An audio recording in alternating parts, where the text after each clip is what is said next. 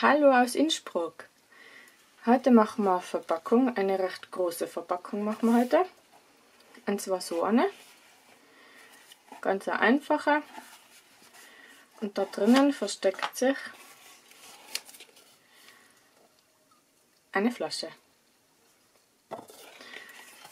So, also wie gesagt, es ist nicht viel dabei, aber man braucht eigentlich recht viel Papier. Und zwar braucht man ein kleineres Stück für den Deckel. Dann braucht man einen ganzen Bogen fast vom Farbkarton und dann braucht man auch noch fast einen ganzen Bogen Designpapier. Ich nehme da heute das her mit den vielen kleinen Schnecken, weil das nämlich schön auf den weißen Hintergrund drauf passt. Gut, dann fangen wir mal an. Fangen wir mal an mit dem Deckel. Und zwar braucht man für den Deckel ein Stück Designpapier. Ihr habt als Flüsterweiß. Und zwar braucht man den in der Größe 12,2 mal 12,2.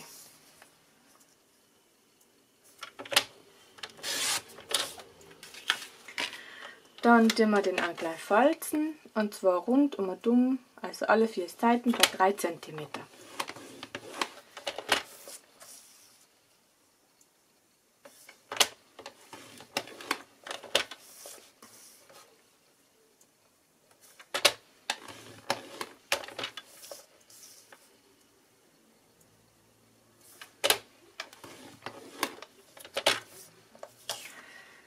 So, dann ist der Deckel mal fertig. Dann klappen wir den Arm nach außen und machen den restlichen Farbkarton. Und zwar schneiden wir den jetzt zu auf 27 cm.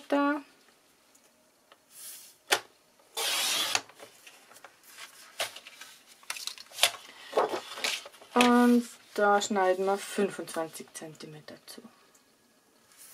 Also noch einmal, den schneiden wir jetzt zu auf 25 x 27 cm. Gut, dann drehen wir mal zuerst so hin, dass die 27 cm oben liegen und da falten wir dann bei 6 cm.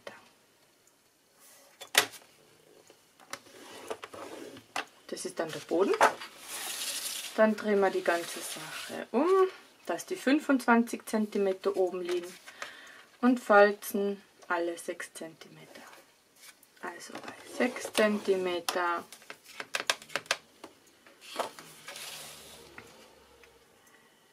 bei 12 bei 18 und bei 24.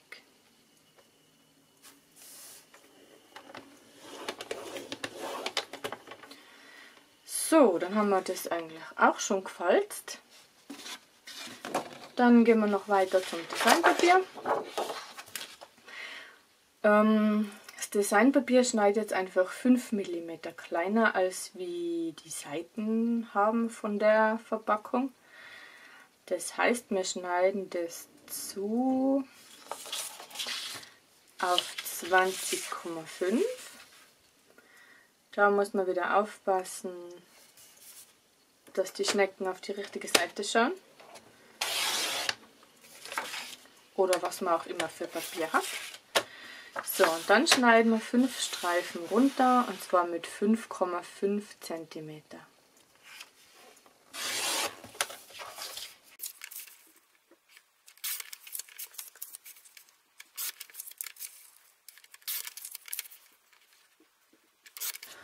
So, dann bleibt von dem Designbogenpapier nur mehr das übrig. Und das kann man für was anderes verwenden. So, fünf Streifen habe ich deswegen runterschneiden lassen, weil man ja oben für den Deckel auch noch ähm, ein Stück braucht. Und zwar haben wir das dann 5,5 mal 5,5. Und da schaue ich jetzt, wo sich das dann am besten ausgeht. Ich glaube, das ist eh so okay. Damit wir viele ganze Schnecken drauf haben. So wie zum Beispiel bei dem Papier.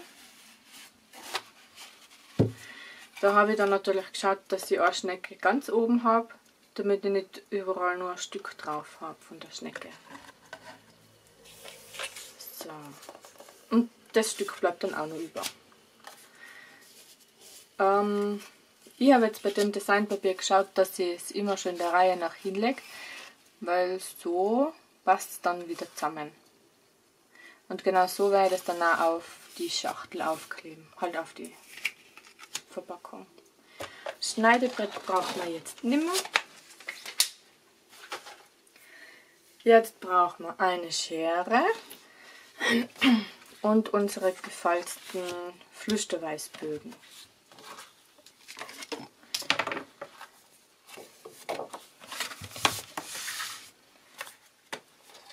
Ich nehme jetzt da eine lange Schere, weil die einfach feiner ist, wenn man so längere Sachen zum Schneiden hat. Ähm, ich schneide das jetzt da ein bisschen schräg ein. Das ist dann feiner zum Zusammenkleben. Genauso da. Überall einfach so ein kleines Dreieck rausschneiden.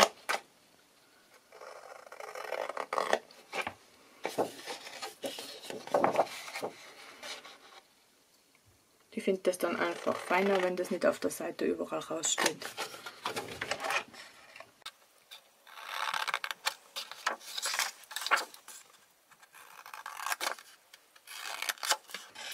Und natürlich auf der Seite auch noch.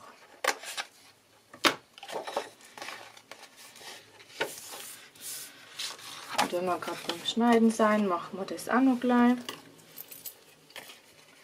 Da mache ich es jetzt ungefähr gleich, nur dass ich jetzt kein Dreieck rausschneide, sondern da eine Seite gerade mache und die andere Seite ein bisschen schräg mache. Dasselbe machen wir daneben auch noch.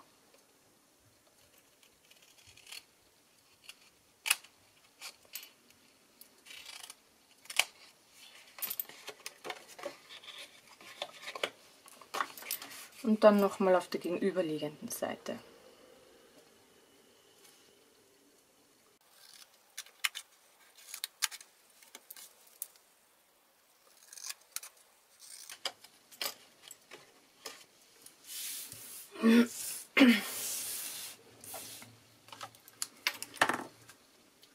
Dann gehen wir mal ans Falten.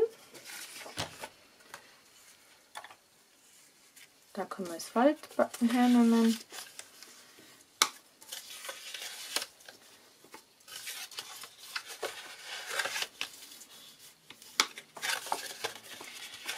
Damit wieder schöne Kanten entstehen. Das machen wir da auch gleich. Ähm, wenn ich da unten schon eingeschnitten habe und erst dann falt, mache ich es gern so, dass ich es lange rüberfalt und nicht die kurzen rauf. Weil wenn ich die so rüberfalt, dann habe ich da wirklich eine schöne Gerade und alles sind gleich gefaltet. Mir ist das öfters passiert, dass da dann nicht alle auf der gleichen Höhe gewesen sind. So, dann falten wir noch die da.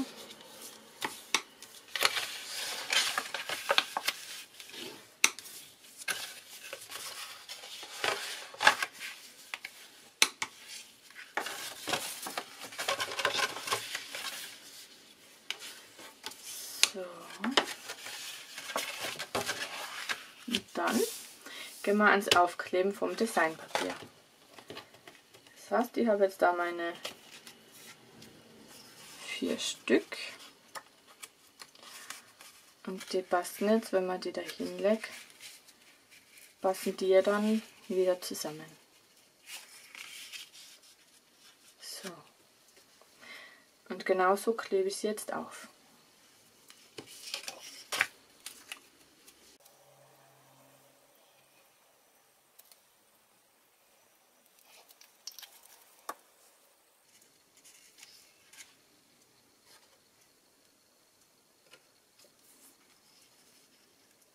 Aufkleben wieder schauen, dass auf allen Seiten ungefähr gleich viel Rand bleibt.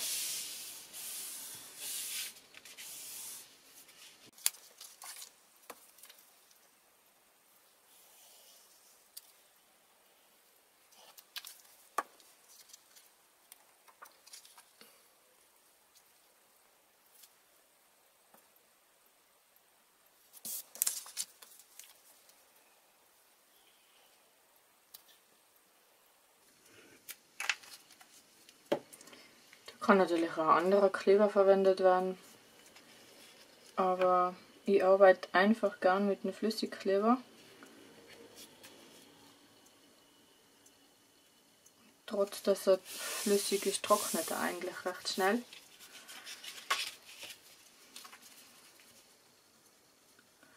Und er haltet da einfach gut. Und allzu viel brauchen tut man auch nicht, wenn man da einfach rund um den Rand fährt und in der Mitte noch ein bisschen, das reicht vollkommen.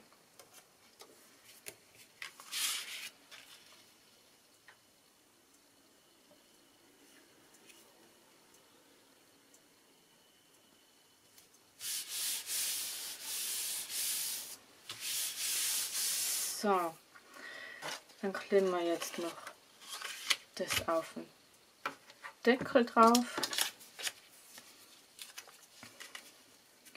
Das Aufkleben ist einfach feiner, wenn es noch nicht zusammenklebt ist, weil dann kann man das einfach schön festdrücken und in die richtige Richtung schieben. Ja, so. Das klebe jetzt auch so auf, weil ich die Seite einfach lieber vorn habe so als wie die Seite. Deswegen klebe ich das jetzt da auf.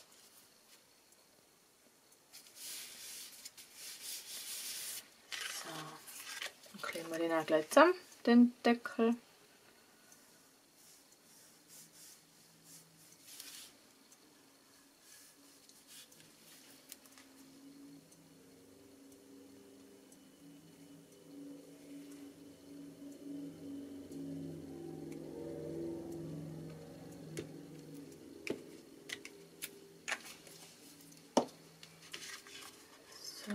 Das einmal da hinten rein. Schauen, dass man da schön gerade ist.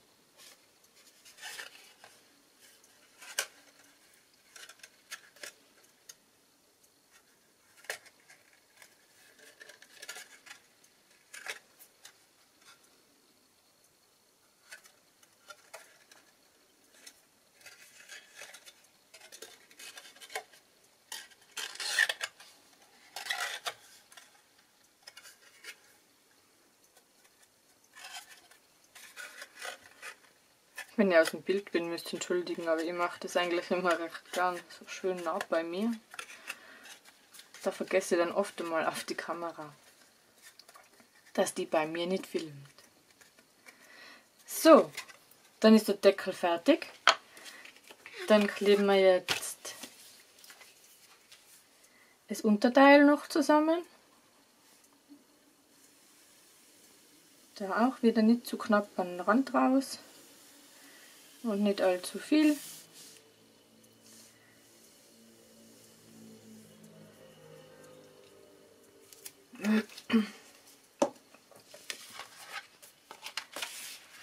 wenn man sich das jetzt da eines umklappt und das rüber, dann sollte das eigentlich einen schönen Abschluss geben.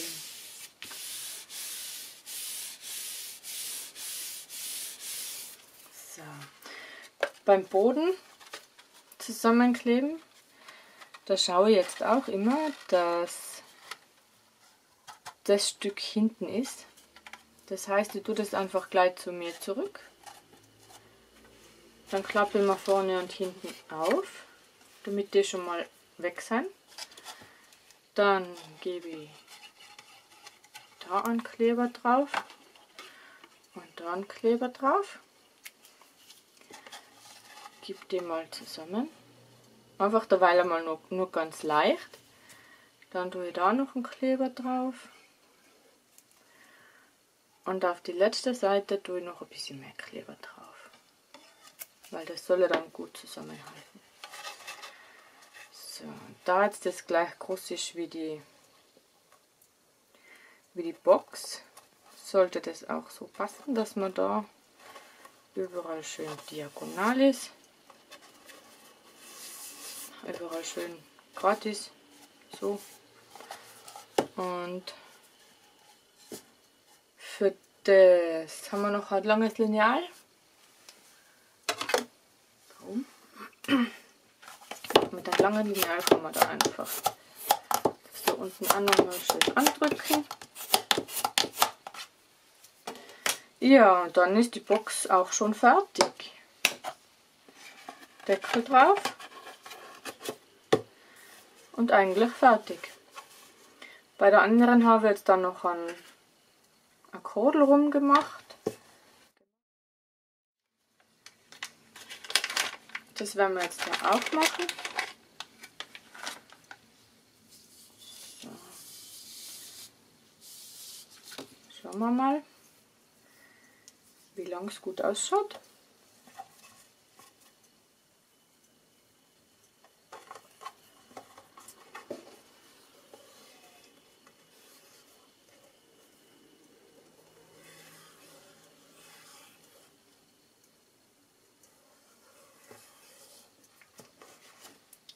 So, das da rauf. Dann schneiden wir ab. Dann kann man das da einfach nochmal ein bisschen straff ziehen, damit das nicht so leicht wegrutscht. Weil angeklebt wird das nicht mehr. So, ich habe da einfach einen Knoten, einen Knoten reingemacht.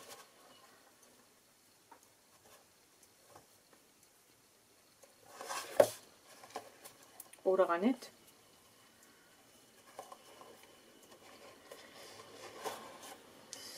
So, das kann man jetzt entweder so lassen oder dann noch eine Masche drauf machen.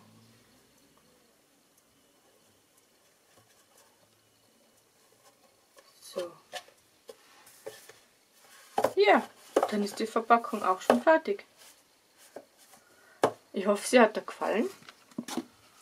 Da haben wir noch die andere. Natürlich mit Deckel. So. Dann bis zum nächsten Mal. Und viel Spaß beim Nachbasteln.